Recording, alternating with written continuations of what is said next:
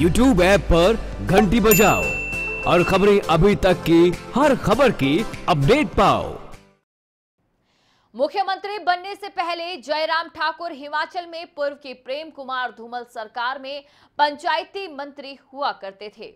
पंचायती राज मंत्री का पद संभाल चुके जयराम ठाकुर अब बेशक मुख्यमंत्री हैं, लेकिन उनका लगाव इस विभाग के साथ बरकरार बना हुआ है।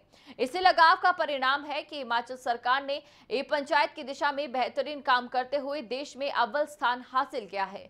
हिमाचल प्रदेश में ए पंचायत प्रणाली लागू करने वाला देश का पहला राज्य है। अब हिमाचल प्रदेश में पंचायतों में परिवार रजिस्टर ऑनलाइन है।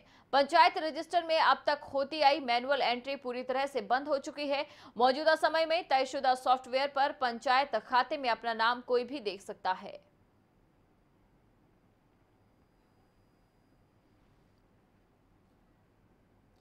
तो आपको बता दें ई पंचायत जिसे सरकार कब से लागू करना चाह रही है, हालाँकि कुछ जगहों पर पंचायती जो लोग हैं, उनका आक्रोश भी सरकार को झेलना पड़ता है।